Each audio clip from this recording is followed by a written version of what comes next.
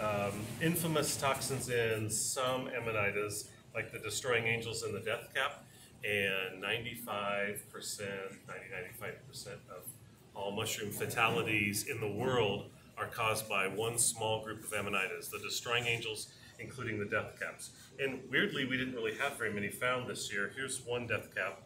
Um, I'm one, one destroying angel here, probably Amanita suballiacea.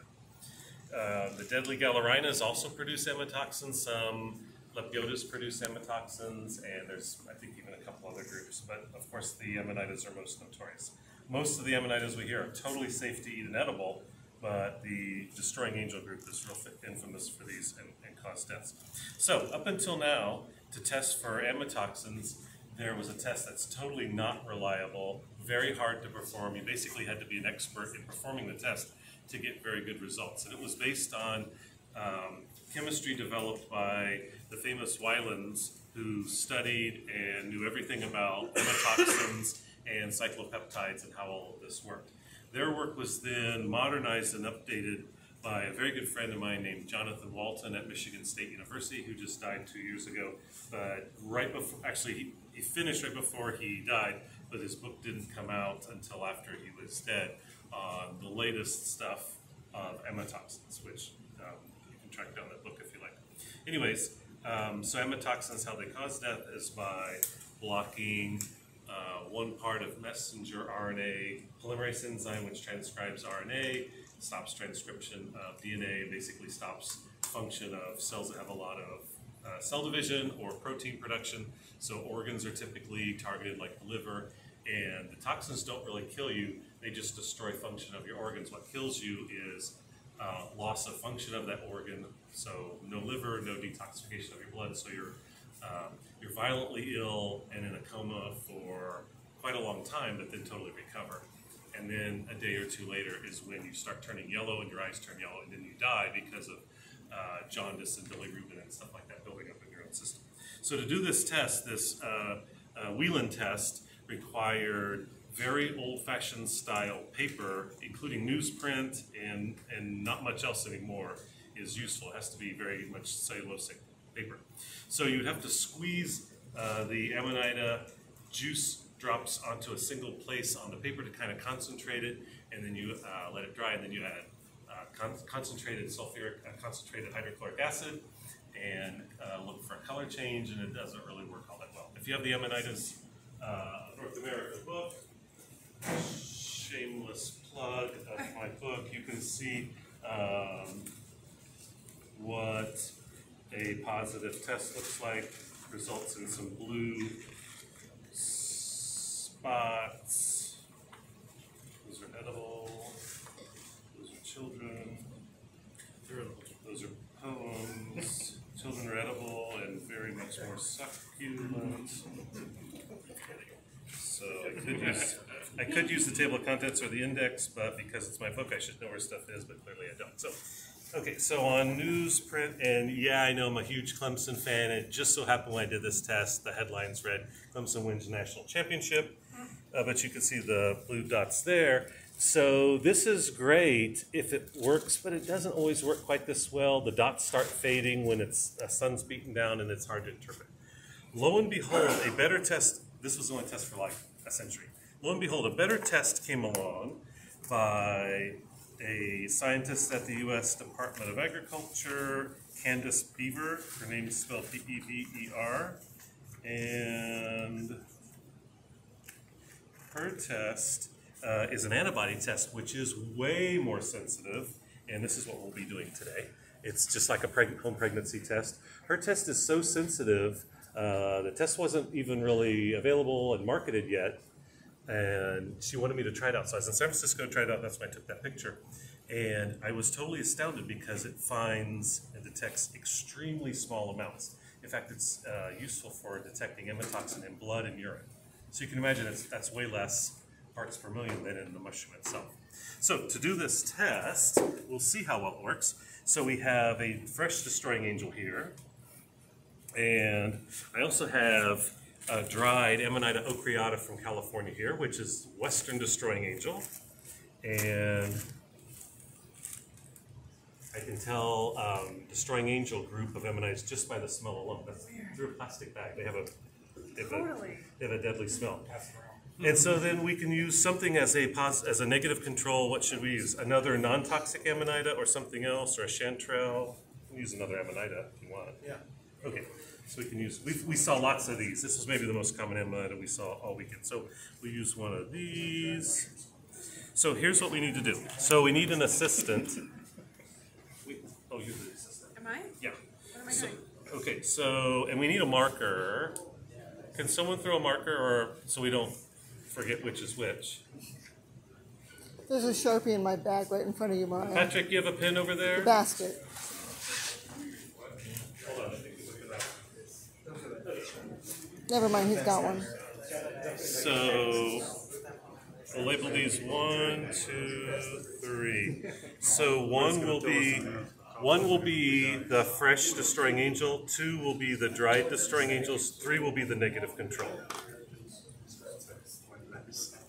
And um, the, the test costs tremendous amounts of money. Unfortunately, the most important part is table salt. I'm not kidding. So these were given to me before they were starting to be marketed. They now are marketed with table salt in them. They don't tell you it's table salt, but it really is table salt. So, okay. How much does it cost? The test, uh, I forget how much they cost. But, Classified. Classified. well, no, you can buy them from the website. How recent was this? Uh, these were shipped to me in the winter. Couple years ago. Uh, just like a year ago. And these were shipped to me in the winter. You can buy them now. Uh, the other beauty part is they're stable. So, like a hospital could buy them and have them sitting on the shelf forever.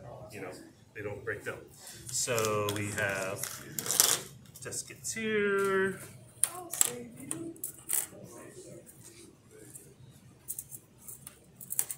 And let's label these. Also, one, two, three. And okay, so let's do the test. So you'll be amazed how little of a piece we have. We need a knife. We knife. need a a dry bag.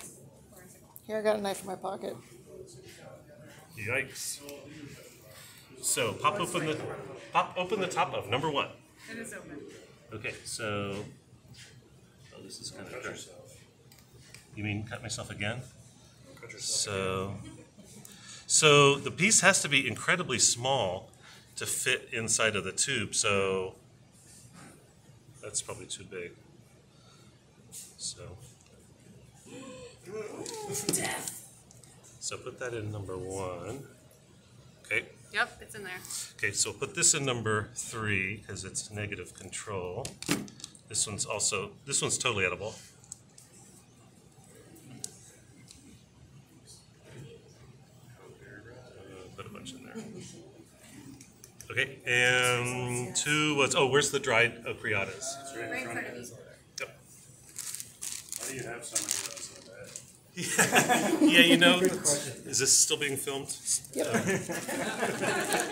How soon we're all gonna die but from sniffing those? You didn't tell us, that's. So, will that fit in the number two? So you see how super tiny this piece is. Yeah. Let's hope this works. Now, oh, um, can someone run and get some tap water just out of the tap? Yep. So the test tube needs to be about half full, so we can shake, shake, shake. And then, tell me what's about half full. It is. Okay. Then once they're half full, I will use, of course, separate pipettes to drop, drop, Yep, drop. that's fine. Okay. Okay, so, oop. So close them up and shake and have, pass them around so everyone can shake one for 60 seconds. Each person shakes for 60 seconds? Yeah. Oh. So you saw how tiny the piece of mushroom that was that was used. So it's not like you use like mushrooms and you scrunch them down. Extremely small amount. Are you still shaking? Yes. Okay. Oh, you didn't have one brick. So then from this, I'm going to take three drops of the liquid. Three drops of the liquid and put on the test. And then we'll we can watch the liquid being pulled up So we'll drop it in the little well. We'll watch the liquid being pulled up through capillary action. And if we get two red bands develop in like a minute or two, then that's a negative test. One red band in a slightly different spot, positive test for amatoxin. Okay, How does it Okay, which calculate how which number do you much have? or One. How severe? Like how potent? Let me switch that. Is it pregnant or not pregnant? Three drops. Says you. Says me, I would know. Hmm. She's filming, all right, explain more. One, two, three. Here's your next one. Did you write down which was which? Yeah. This is two? Yep. This is, this should also be poisonous. One, two, three. It's gonna work out. Okay. So you can see, so you can see as the liquid's moving up, it's being carried up the well, moving up the yeah. Three drops. One, two.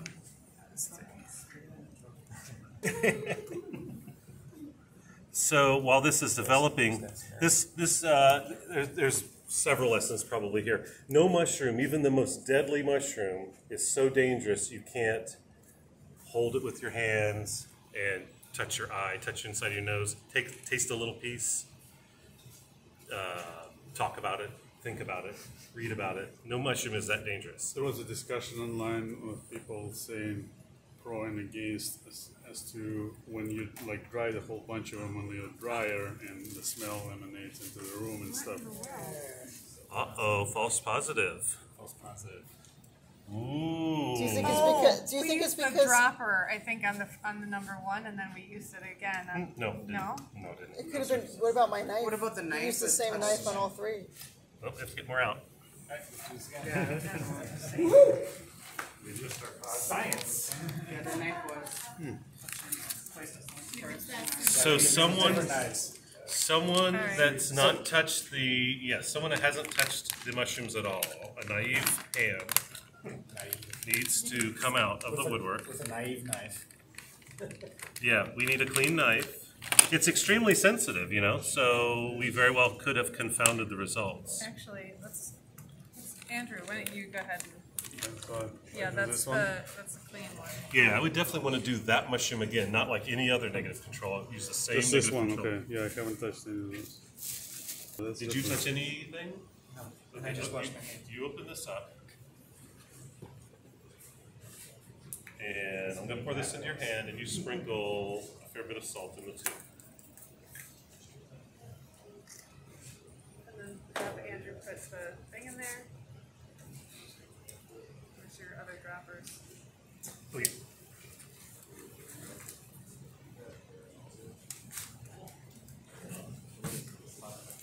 Let's put the yellow Amanita.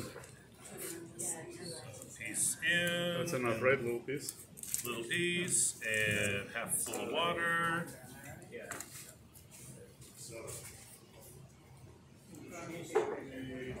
Shake it, shake it.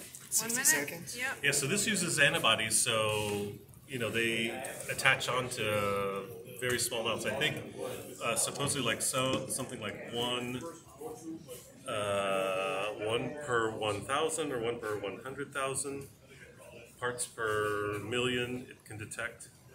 Supposedly pretty sensitive. Also says to wear gloves when you're doing this and not necessarily protect your hands, but so you don't contaminate stuff from like mushrooms you've been picking, which obviously I didn't do. So you It doesn't even mention You're that. saying that when you dry up your mushrooms, like deadly amanitas in your dryer, in your food dryer, the smell that comes out, that's not gonna kill you or Absolutely you? No? So the um, the death rate of deadly amanitas is about fifty percent in this country. You know, and when I was a kid, when we read about it, it was like one hundred percent, but it's not. It's maybe fifty percent. It's probably even lower in Yeah, Europe. because now they- they have, uh, you know, they can re- replace your liver or kidneys or. Uh, well, you can get treatment, but also at the same time, we also just know from better data from more and more people that have accidentally eaten them, we know that you eat them a lot more often Okay. and survive. Okay, three drops on.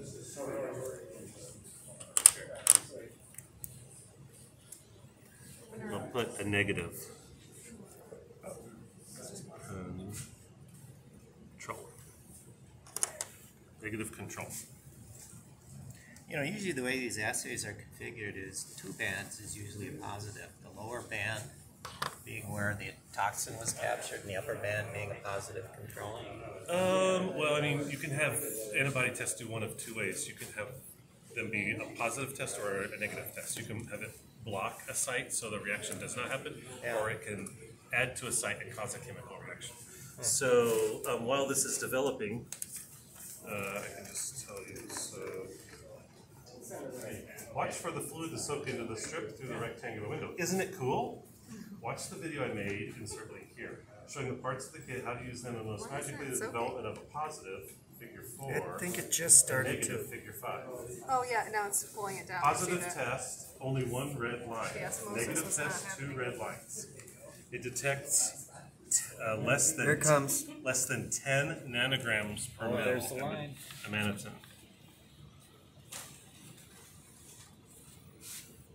Less than ten nanograms per mil. So that's how sensitive. We it is. got a negative. And you would put blood in the same test? You Ju- put just blood, blood or or urine. urine? Okay. Let me just brace this standing up so you can see it more easily. So, Clearly incredibly sensitive if we tainted it on the first test. That's incredible. maybe if we get one band again after being super duper careful, then it means that well maybe they don't work as well as we as, as advertised. Uh-oh.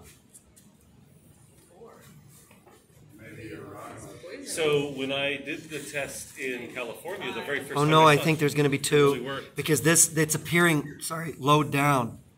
See, there's a faint one appearing, and I think I see another one. Yep, there's the other line. It's like not pregnant. Who's been in this situation before? Fred. Yep, there comes the second one. Yeah, the second one. Maybe. So if if this test that we did now a fourth negative control shows that my previous negative control showed us a positive simply because using that knife it picked up such tiny amounts. That's really astounding, frankly. yeah. Definitely negative two bands. Wow, Yeah, that's that's pretty negative is amazing. Let's make 'em bands.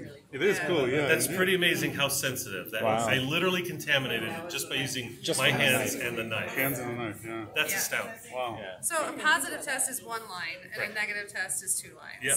So there's Now the they're getting lines. thicker and more That's totally- I'm- Just time. from using the knife and hands. I was Yeah. really impressed when I saw this performed in you know in California. I was really astounded That's from such a small piece. This is even twice as astounding that I could eas- so easily contaminate it. Could detect such amounts.